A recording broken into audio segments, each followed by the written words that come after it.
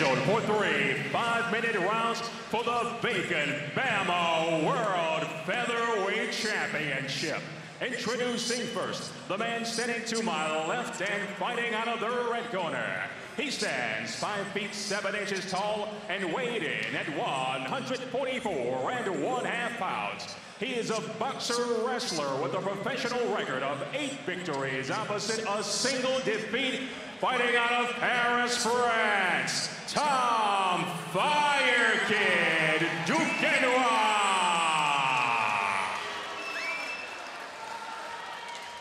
His opponent stands across the cage to my right and fights out of the blue corner. He stands 5 feet 9 inches tall, his official weight and even 145 pounds. He is a well-rounded fighter, his record flawless at 8 and 0 with 8 wins via knockout. Fighting out of Paris, France, Teddy Snatch Violet. Oh, yeah. yeah. Your referee, Marc Goddard. So as you heard there, Marc Goddard giving them their rules.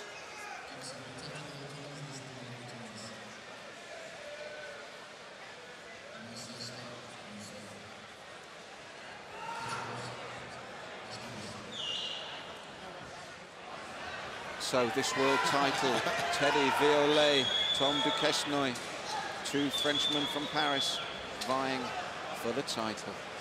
I love uh, Marc Goddard's instructions inside the ring. He has no charisma about it at all.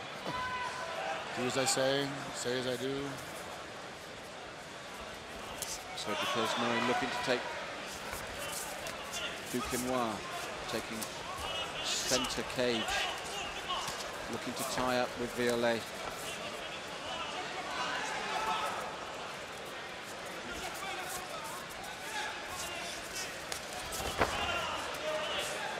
Good sprawl and brawl by Duquesnoy. Get himself inside, staying right in the pocket.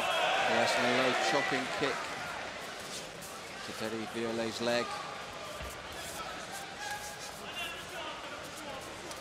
Oh, oh. the left hand and the hook, and immediately Violet goes for the, the takedown, and that's because of that beautiful left hook yeah, from Duquesnoy. And if you saw how he tried to shoot, he tried to move his feet to shoot, but he couldn't.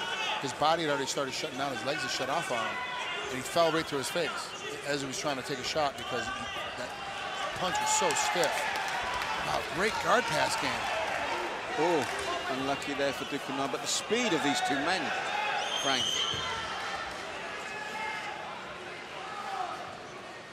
So Violet, the slightly taller man, comes forward with the right and left, but Duquesnoy slips out of the way. And it's as we saw in his previous fight, he's so mobile and quick thinking, isn't he? Great reversal, gets swept to the ground ends up getting back on top again.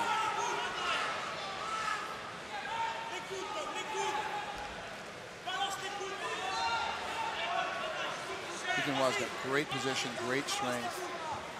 Good tight. I love how his legs are peeled in there. He's making sure there's no chance for him to get back to full guard.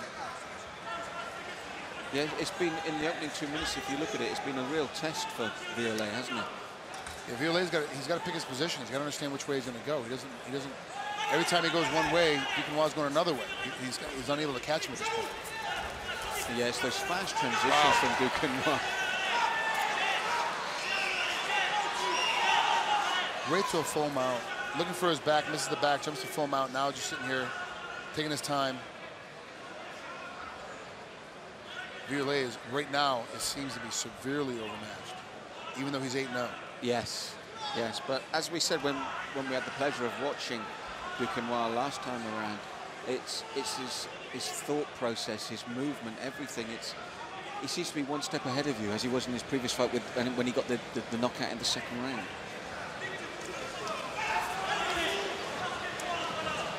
But again, even though, as we said, you know, Violet seems a bit overmatched here, it's incredible to think that we've got a young man of 20 against a young man of 22. Yeah, the game's changing. But with just two minutes left, the fire kid, Duquesnoy, has been totally dominant in this opening round so far.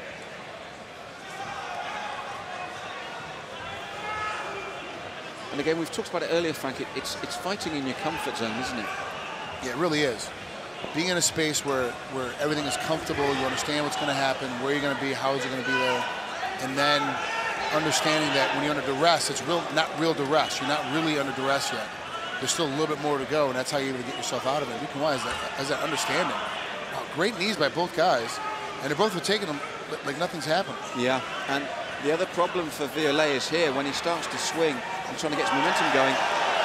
Duke Noir's so good upright as well.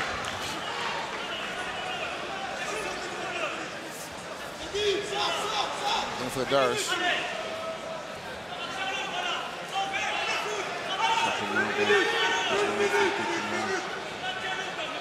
And with, with, under the minute left now, um, Violet, they're going to have to get him back to his corner. And what can they do to turn this around? Because upright or on the ground, he's been bossed. They got. They have to tell him he's got to punch himself in. They know that Dugan is going to start to punch. So Violet's got to punch himself in to get to a takedown and up on top. So far, we've only seen him on his back or on his, or on his feet striking. He's not winning either battle, and it's not like he's, he's slightly outmatched. He's overly outmatched in both positions. Let's see what he can do on top of him. He has to get on top of Duquesnoy and see what happens. Well, he's got just 30 seconds of this round to survive, but it's the fire kid, Tom Duquesnoy, who's dominated this opening round, really. I mean, to be fair, if you're looking for positives for Violet, um, that left hand he took so well because it was a, a beautiful left hook. Snapped his head around and just took it and got up and kept moving. Down with elbows right in this last 10 seconds to emphasize the control of Duquesnoy in this round. Calm and patient. Violet starting to fall apart a little bit. You can see him in the corner. You can see his cornerman He's starting to get a little concerned. I love the movement of Duquesnoy as well to slip away. And his feet are very quick. He stays low and on his toes. So anytime that, Violet shoots on him, even though he's coming forward, he's still able to kick his legs back to get out of that out of that takedown. And he slips from the waist so well. And there's that uppercut that lands on the left that's just missed. His, his transitions, his movement, his timing are all superb.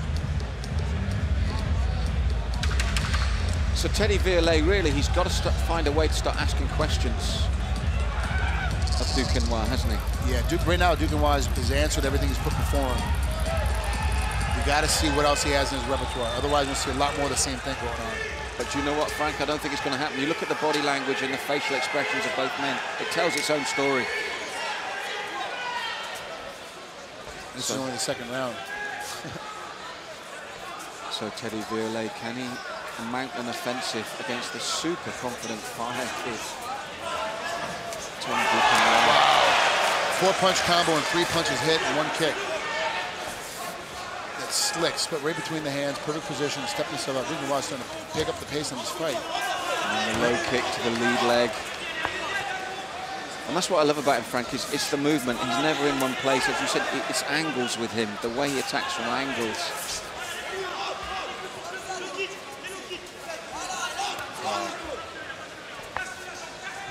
So stalking his man from the center of the cage now. Pops out the jab. And he's loose and relaxed. And, and, and Violet's, it's a nice takedown, but he seemed very stiff and tense to me. And now immediately, Duquesnoy is immediately looking for the stretch, trying to push himself out, gets his legs back, steps over, full mount. The, the kid is just genius with his athletic ability and his hip motion.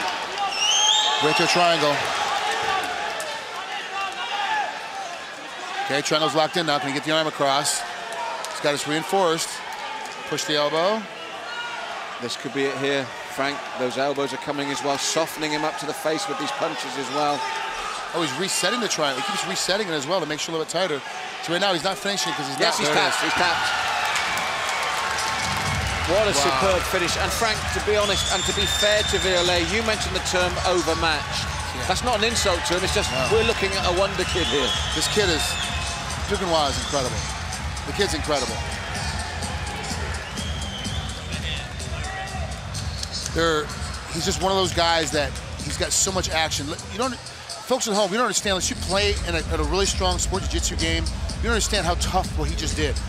To come in, to sweep himself over on top from getting taken down, and rotate into a, an immediate triangle, reset because it's not tight enough, set it again, and then see how he turns his body over to 90 degree angle, so now he can finish. And that's what I was trying to say. He's not gonna be able to finish until he gets to 90 degree. Gets to 90 degree, now thing's over. Like he's just he's just incredible. This this guy's got a long future, a very long future in this game. Well, one thing's for certain, that's a hell of a thing. 20 years of age and already a world champion. An incredible win. Second round once again. It's a happy hunting ground BAMMA for the Fire Kid, and he's going to be crowned world champion here after an incredibly impressive performance. Tom the Fire Kid Duquesnoy. And Violet, he shrugs his shoulders to his corners and say, what could I do?